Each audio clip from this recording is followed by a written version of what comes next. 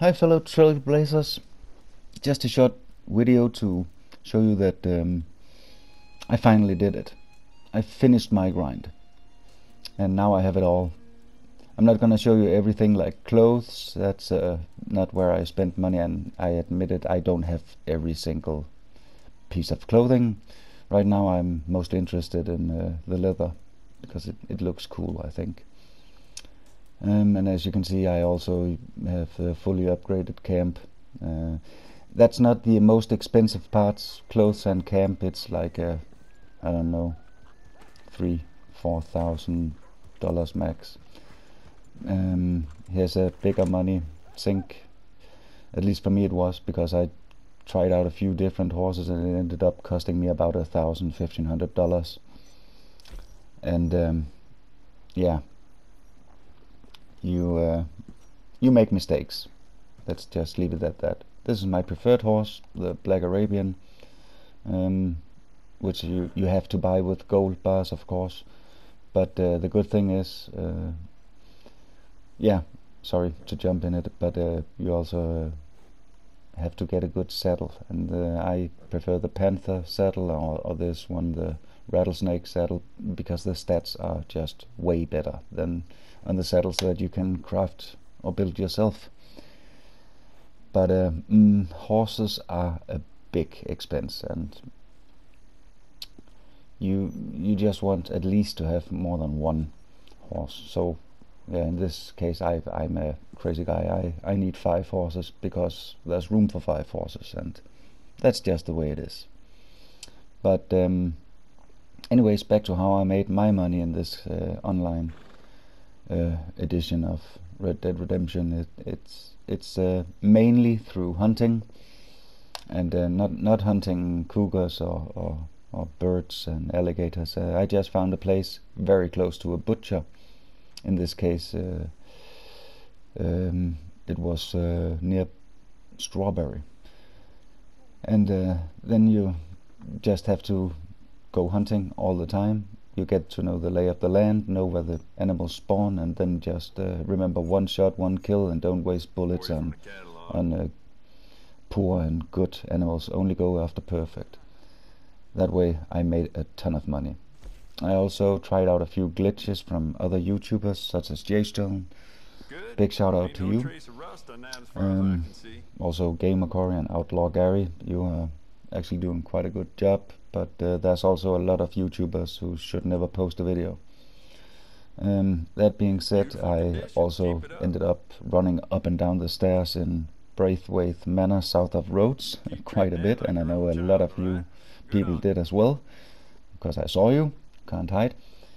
But um, back to the video, right here you can see that I also bought all the guns, and I ended up upgrading only a few of them because I'm I don't really like spending too much money on a game. I I admit I I bought 25 gold bars. There was this one time offer. I think it was five dollars, uh, something like that. Anyways, uh, it's only cosmetics, uh, uh so it doesn't really matter. And and you might want to upgrade other other guns. I I that's a personal subjective uh, thing. Anyways, guns are also quite a money sink. If you want them, I, the cheapest, the Cattleman's are fifty dollars, but then you you buy the Mauser guns, it's like six hundred dollars a piece or a thousand. I can't remember. Um, but it's a lot of money for guns. Um, yeah. But uh, when you have all the guns, you also want all the bullets, and that's where uh, all the recipes came in. Now, in the Ultimate Edition, you you uh, get uh, five recipes for free. The rest I had to buy, and that's a huge money sink because they are like five hundred dollars a piece, something like that. Um, but you need them if you want to get all the different kinds of dynamite and fire bottles and what they called split point, I think, and explosive rounds, incendiary shots, and yeah, all of it. Uh, it's not really expensive because you're just crafting bullets, but um, um, yeah, still, it's a few hundred bucks uh, know, ammunition as well. So, but the last thing and the really biggest part of the grind. It was actually the in my opinion most important part. And that's the um, that's the uh, ability cards which I'm going to show you in a few seconds. Uh, that's really what makes or breaks a character in my opinion anyways. Uh, you want to be able to handle different different kind of missions and jobs and uh, the way to do this is uh, changing your abilities. Some are good for PvP, solo PvP, group PvP. Some are good for hunting. Yeah, whatever.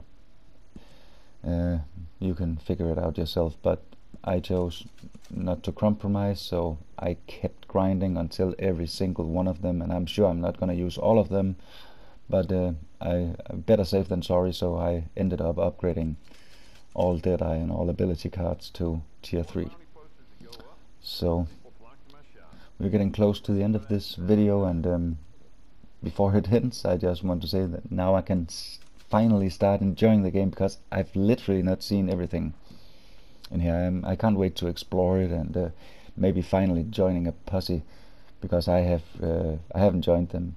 If you're doing this, uh, the uh, it if you're playing the game the way I have been playing it to, to get it all, then it's not effective. I have no doubt that it will be a lot more fun because if you're going to do this, guys, be warned, it's boring. I tell you that it's it's repetition, repetition, repetition, and it's and it's not uh, only half an hour per day. Uh, that's not gonna cut it. Uh, of course, depending on how fast you want it all. Um, anyways, that's about it, and. Um, be sure to have fun. I know I will. And uh, yeah, take care. Bye bye.